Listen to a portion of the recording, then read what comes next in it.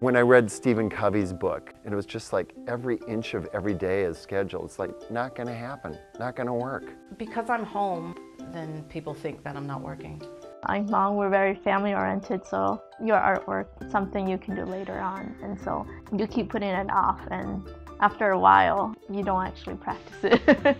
I would love for my creative life to be my income, but that isn't always the case.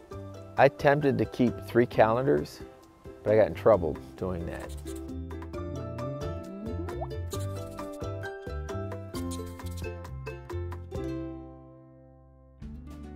My father once told me, you can make a lot happen in five minutes. And I really believe that. For me, time management is synonymous with energy management. When I do a show at 8 o'clock, I want to have optimal energy at 8 p.m. So I will schedule my whole day with my energy requirements in mind. I have to think to myself, if I was in an office, would I be dealing with this right now? So I don't answer my phone because I'm like, that's my time, this is the time I work and I need to honor my work. I've not always managed Joe's business, but one of the things that we decided was he could not do everything himself.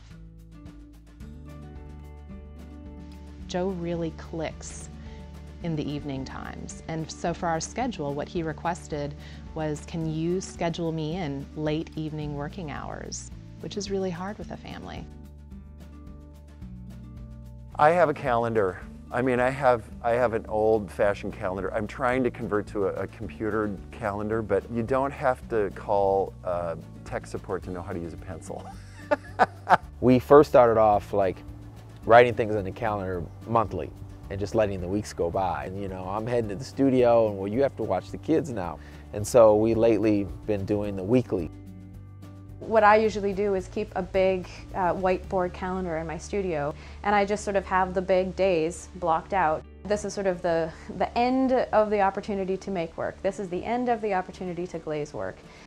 And that seems to help me a lot just sort of organize what I need to be doing now in order to prepare for three to four weeks from now, six months from now, etc.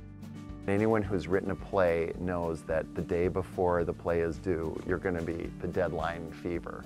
I learned in playwriting to build in earlier deadlines where I would say, I'm having a reading everybody come over, I'm making a spaghetti dinner. And then that, that forces me to do in the 11th hour two months before as opposed to the actual night before.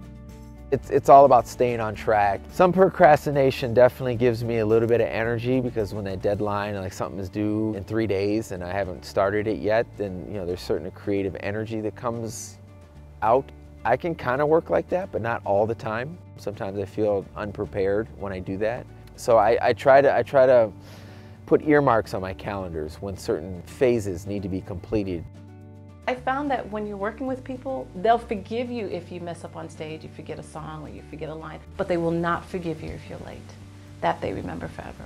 I think a lot of artists work in very solitary ways, but we're not an island. Find the tools that you need to help make it successful. If you value your artwork and if it's important to you, um, make it intentional and make the time.